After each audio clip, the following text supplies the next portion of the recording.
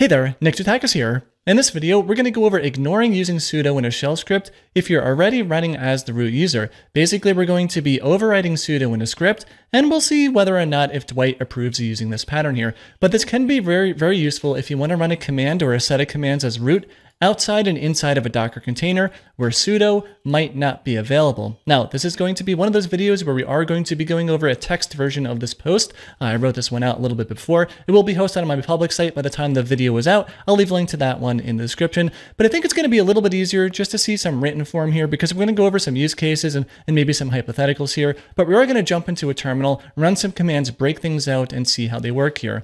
But yeah, let's start with the use case now, which is uh, pretty specific, but I think like reasonably common here, where let's say that you have a shell script that installs tools to user local bin. You know, this is typically an area on the file system that you'll need root access to write to, but your script also wants to install tools with something like pip. This is Python's package manager here, where you may want to use the dash dash user flag, which is going to install those tools in your local users like local bin directory instead of the system's versions of Python. You know, that's pretty nice because it avoids polluting the system version of Python. You know, you kind of don't also need to use virtual environments here. But uh, yeah, the takeaway here is you want these pip tools that are installed to be in, let's say, the Nick user or whatever your dev box happens to be, not root. So you have this mismatch, or not mismatch, but you have this combination of wanting stuff to be run as root as well as non-root.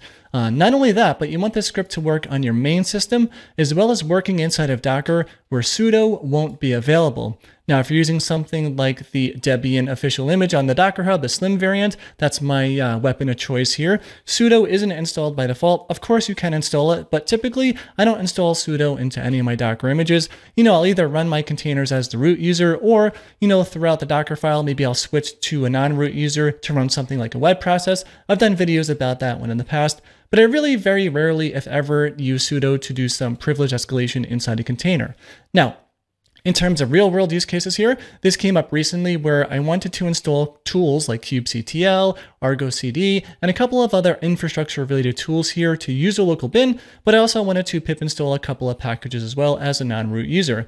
And this is basically uh, to fulfill the requirement of having an install script to help onboard developers who were using either macOS or various distros of Linux, but it also needed to work inside of Docker because our base uh, CI image is something that we can set up here, and it's a custom Docker image that I've created here. And I wanted these tools to be installed and available on that environment as well. And I wanted those tools to use the exact same version as uh, whatever developers had locally. So, you know, I wanted to have this, you know, install tools script here be able to be used to set up both environments there. So, you know, when you lay all of that out, you kind of have this problem where you need to solve the problem of wanting to run certain commands with sudo but you only want to actually invoke sudo if you're not already escalated as the root user. So we're going to go over a couple of ways to solve this one here, um, you know, this way and this way and the third way. But yeah, let's start with uh, the case that could have been a lot more straightforward, right? If we didn't have the requirement to actually pip install some local packages here, this would actually be no problem whatsoever, right?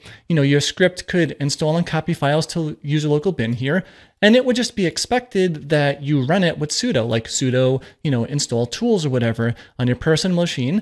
And then inside of Docker, you just wouldn't need to prefix using sudo here because you're already running as the root user. And then your script wouldn't need to internally reference sudo at all here. So yeah, the advantage here is like your script doesn't actually need to use sudo for a bunch of different commands here, you know, you know, assuming you were like moving or copying a binary to there.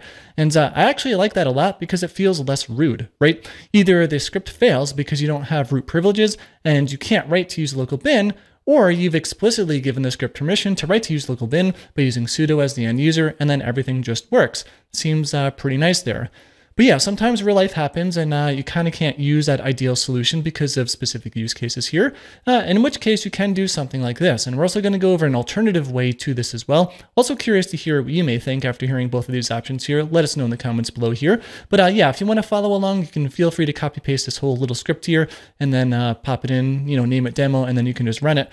But yeah, it's mostly just comments here. And uh, by the way, before we even get into this, you know, I just don't want to take credit for like inventing the solution. So I did find this on uh, whatever, askubuntu.com here. You can see poking around this stupid cookie dialog here. But yeah, you know, someone wrote that here and uh, we're kind of going to break it apart, run it, check it out and see how it works. But um, yeah, before we get pretty deep in the woods here, you know, this little script ignoring this uh, custom sudo function here, you know, there's other patterns here. I've done videos about this in like a make script video that I made here.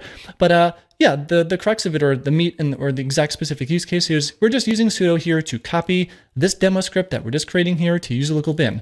Now, of course, you know, I go on to say here that this is going to copy the demo script to here, and now you can, you know, basically just run demo to run it. And yeah, we're going to go over details in a second here, but this is meant to be like for demo purposes, right? Like when you install a real tool like kubectl, Argo CD, like other different tools there, you know, that may or probably will involve down curling something potentially from GitHub if you want to get the latest version there, you know, assuming you're not using the package manager, whatever. Maybe you unzip them and then you just move their binary to user local bin. So, you know, this script gets rid of the curl and unzipping and, you know, all that other process here, but and it just copies the file to here. And that's exactly what we want to do in the end for the real install script. So yeah, we are good to go there. And then it just echoes hello world just to let us know that, hey, like something actually happened here. But yeah, let's go over uh, this sudo function here a little bit. And it begins with this OR condition here, right? And it's going to check to see if the effective user ID, which is the EUID, we're going to see if that is zero or not. And uh, yeah, let's start popping into the terminal here because it's going to be a little bit easier to see how, they, how these things work. So I've done some videos in the past around UIDs, like running Docker as a non-root user, you know, but uh, I just want to let you know, like, you know, these are the outputs of some of these uh, environment variables that are available to you when using bash or in your shell. Well, in this case, I think UID and EUID are bash specific, although they, they will work in Z shell and other bash compatible shells. But we can see in this case, the user ID is 1000, the uh, effective user ID is also a thousand. I found in practice that uh, these always appear to be the same. You know, let us know in the comments below when these actually really will be different because, you know, I Googled around for this one and, and there are some cases where it's like, yeah, if you use like, you know, privilege escalation with sudo, then, you know, these could theoretically be different. Um, I have not found them to be different in any cases that I've developed, but who knows? In any case, the effective user ID feels like it's the, the better variable to use in this case. And, um, Let's say though the effective user ID is zero. In this case, we just saw that it's uh, a thousand because this is the Nick user. But let me actually run uh, as the root user here and see what those values are now. So if we do UID and EUID here, we're going to see that uh, the value is zero. This is normal. This is normal Linux things here, right? I'm the root user. My UID is zero. So this condition then is going to fire off to be true. And, you know, since this is an OR, it's going to short circuit and this will just evaluate to true. And then we just move on to the next part of the script here, which is basically just, you know, uh, running whatever arguments you pass into the function here. This would be, uh, yeah, whatever the command was, but, but without sudo, right? Because remember, when you run sudo like this, it's not running sudo from your file system uh, to wherever sudo happens to be installed to, right? Like if I do a which sudo, you can see it's going to be somewhere like user bin sudo, right? Uh, this is not running that binary, it's running this function here. And uh, this function is going to be like, okay, well, you know, you are the root user, cool, let's do this. But what is this? Well, in this case, um, you know, at the at symbol there, dollar at, is just going to return this, literally all the arguments passed into the function. So it's going to uh, run the command without sudo, which I think is pretty neat. So it gives us a way to kind of, you know, abstract this uh, thing out here so we don't need conditions all the time to be like,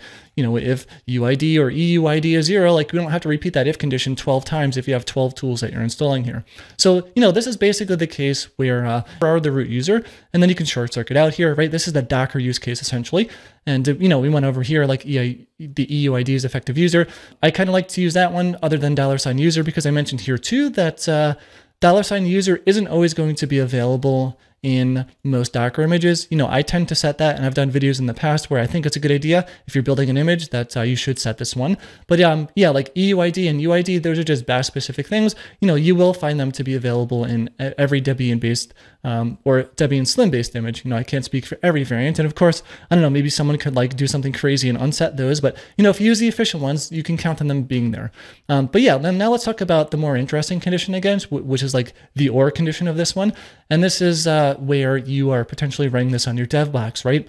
So Otherwise, we're going to take some arguments you pass into the function and then run it through the sudo command, blah, blah, blah. We're going to break this down, don't worry, because it's a little bit funky. Um, but yeah, this is the personal machine use case, and it's the other side of the OR condition here. Uh, but yeah, before you start running this one, command is a bash command to execute or display information about a command here, and we're using set to pass our arguments to uh, the actual command function here.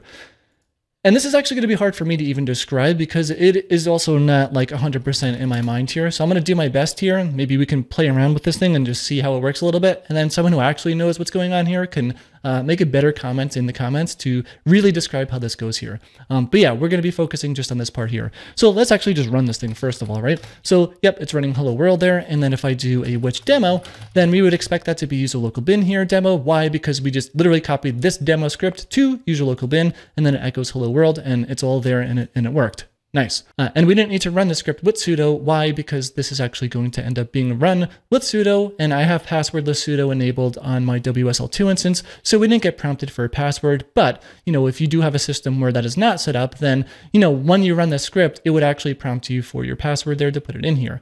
Let's just try experimenting, like what happens if we don't pass all the arguments over into here? Well, also I should mention too, like, you know, the dollar sign at, right? This is going to just pass in all the arguments here, and, and that, that's why that works. So, okay, let's see how that works here. So we just, you know, do that and then rerun this here. And now we get a situation here because, you know, if you were to run sudo with no arguments as well, you know, this is the use case here, right? Like we can't just run sudo like this. You have to put in some form of arguments there that works like that. But then it's like, well, what happens if you decide that uh, you're not going to use set dash dash? Like, can't you just use command here? Because it's like, well, we're going to use command to pass in, uh, you know, this sudo function or sudo command to run. And then we're going to pass in all the arguments to there and that should just work, right? No, it won't uh, because now it's like actually not even running a sudo. Um, but yeah, this is where it gets a little bit funky in my mind here. So all I know is like you need to put set dash dash here and then things work. Horribly explained, I know, but like it's one of those things where you put this in and it works. If you don't put this in, then it doesn't work. Um, but that's basically how things work here. And you know, we can actually confirm it works in Docker as well because if we take this command here, and we'll go over it more once we're looking at here, uh, yeah, hold on. I didn't copy that to my clipboard apparently. All right, there we go. Cool. So now we should see a hello world back there. And, you know, we're just running a container here. Interactive technically didn't need it because we're not really going into a shell, but I just put it there anyways. Yeah, we're going to remove the container. Then we're going to set up a volume here for the current working directory, right? If I do pwd here, you know, this is uh, my tutorial directory here for a couple videos here. We're going to mount that into slash app, set the work to slash app. We're going to use the official Debian Bookworm Slim image here. Bookworm is uh, Debian 12, latest stable version at the time of making this video. And then we're just going to run that demo script here. Now, uh, if we can break that down a little bit more, you know, let's just go into uh, a bash prompt here. We can see, you know, there's a demo script there. And, you know, if I run demo, we get hello world. So yeah, that's how all of that is just working out here. You know, in this case, this is firing off and then this is happening and then this is happening and that's happening and we're good. Totally just works. So that is not too bad. And now let's go back to the blog post here. And yeah, I mentioned that the sudo function is here, blah, blah, blah. And, you know, we went over this before around just like, you know, installing real tools. But yeah, what's kind of neat about this approach in general is that, uh, you know, on your personal system, it's going to work and it'll either prompt you to enter in your password or just passively work there if you have passwordless sudo enabled. You know, you kind of don't need to litter your script with a whole bunch of uh, different if conditions here to check to see if like the sudo command exists. And, uh, you know, that's going to be a problem in my opinion, at least for maintainability if you're doing this to install 10 different tools, right? And this install script is uh, installing quite a bit of tools in the real world here. And then on systems without sudo, right, such as Docker, it's just going to run the command without sudo and kind of just work there uh, if it's being run as the root user. Kind of gives us the best of both worlds there, right? In the sense that it runs the same in both cases. You know, the downside though is you need to internally use sudo within your script every time uh, you actually need that, like, you know, to, to write to this directory or copy to that directory there. And it also feels like uh, it's a little bit anti-user in behavior, right? You know, there's this idea of you can just run the script without sudo and then it's like it is using sudo internally. So like what's to stop the script from, I don't know, modifying something in, in a bad way? Maybe it's like removes that directory there. You know, you kind of don't want to have a script do that unless you explicitly call it with sudo, you know? Uh, but yeah, okay, let's get to that. I think I get into that a little bit later anyways. But there could be another way to maybe handle this uh, depending on your use case, right? So if you invoke a command with sudo, then you actually get access to this sudo user environment variable uh, that'll be set to the user who invoked the command. Now, I didn't set up a code sample here. We're actually going to jump in and kind of see how this works in a sec here, but let's just like read this out here first. And this could let you avoid, right, needing to use, um, needing to override sudo like we did above, and also avoid using sudo in your script. You know, instead, you'd basically just run the script itself with sudo, like the first option that we talked about up here, right? You can kind of just run it with sudo, and then you are good to go.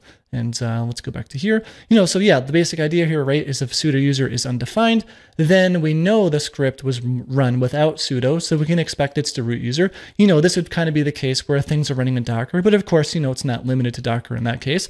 But if this environment variable is set then we can expect it's your personal box and you use sudo there, and then things will just install to here, no problem, because you're acting as the root user, because again, you know, going back to up here, you know, you ran this, the script actually like that. And then I go on to say here, well, then for local bin here, you can pip install commands root user or whatever else you need to do as a non-local user. And then you can just use the su command like switch user to switch to this uh, sudo user before you actually run that command here. So yeah, now let's uh, make this thing a little bit easier to read here. So I'm just gonna cancel out most of the script here, but let's do something like, you know, like we mentioned before, we can do uh, echo user, cool. And let's also echo the sudo user as well. And if we run the script here, then we will get, well, oh yeah, it's getting undefined. That's fine uh, because I have no one set here set. But let's default to that just so we get nothing, right? So in this case, I ran the script and I didn't run the script at sudo, so sudo user is going to be undefined. However, if I run this with sudo like this, then sudo user is actually the user who is running the script here, who invoked the script with the sudo command. So you can see my current user now is Nick, and we can see that being uh, output here as well. So yeah, that's pretty neat. Like that is a pretty good pattern. I kind of like this one a lot. And uh, well, now you might be thinking like, well, what method or method should you use here? And I don't know, like most things, right? Uh, kind of depends on your use case, right? The first uh, option is ideal in my opinion if all you have are system-wide installs to uh, or system-wide tools to install, right? Like if all you're doing is doing stuff like this, where you're just moving stuff to use a local bin, then again, we go back to the first option here. We just run it with sudo when you need to. Otherwise, you don't in Docker and you're good to go. 100% done. So let's go back to down here. Yeah, if you have a lot of locally installed tools mixed in, then I think the second option is more maintainable since you only need to define that sudo function we went over there once. And then the rest of your script can kind of just use sudo as normal. And then uh, you kind of just don't need to think about it much beyond that, right? So the idea there is like if you've got, I don't know, eight different sudo enabled uh, commands that you want to run where you need to write to use a local bin, but you've got, I don't know, 15 or 10 or however many local uh, pip install commands or whatever else that you need to do in, a, in the you know local user's uh, home directory or whatever, then yeah, this option doesn't feel too bad at all. But um, if you only maybe have a small handful of locally installed tools, maybe like one or two or whatever, then I do feel like that third option here with the sudo user one, sudo user one is, uh, I don't know, it feels a little bit more correct, right? And I think it also really depends on where the script is being used. You know, if it's internally within an organization where everyone is being onboarded in the same way, um, that's a little bit different than a script. I think that's uh, just open source and available, right? You know, and I go on to say here too, right? Like personally on a moral or ethical level, you know, I really do like option three the best because this shows the most clear intent that your script needs root privileges before you actually run it. You may also want to consider splitting out your logic into separate scripts to differentiate, you know, what needs and doesn't need root access. You know, that's another option too as well. You know, this starts to get a little more complicated though if you happen to have multiple scripts doing different things, but then you have kind of a parent script that calls both, but then you're back to like prefixing the word sudo in, you know, that parent script to call the other script, and maybe you don't solve the problem in that way. But again, you know, if you don't have that scenario, then, you know, maybe this works here. And uh, yeah, I just wanted to say here, I actually did end up rolling out option two for a client because in their specific use case, it made the most sense there. But the good news is, you know, if that changes or maybe I want to rethink that in the future, uh, I can just change that implementation. You know, in the grand scheme of things, this isn't a big deal at all end user stuff doesn't change. You know, now they just run the script at sudo and it uses option three there. So yeah, I'm kind of curious, like what method would you prefer to use there? And again, maybe go over the use case that you would use it in, or maybe there is a case to always use three and never two, right? Who knows? Yeah, with that said, let, let us know in the comments below what you thought. If you liked the video, please give it a thumbs up. It really does help a lot. Thanks a lot for watching, and I will see you in the next video.